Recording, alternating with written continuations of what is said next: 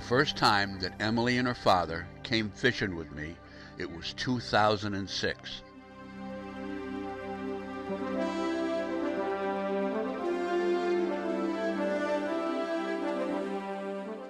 It didn't take long for Emily to become an excellent angler.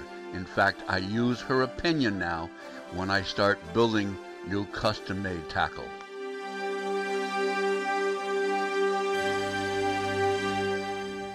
A few years ago, we trained her to be a fill-in mate, and she has excelled at that too.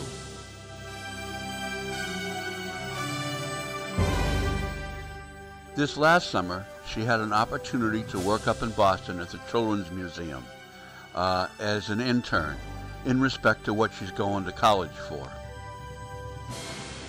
She did find time to come down and do one cameo appearance, and she uh, made it on this trip for Lou Berry, who uh, she had made it uh, for last summer. I hope she's able to come back next summer and do some more fishing with me. She was a pleasure to work with.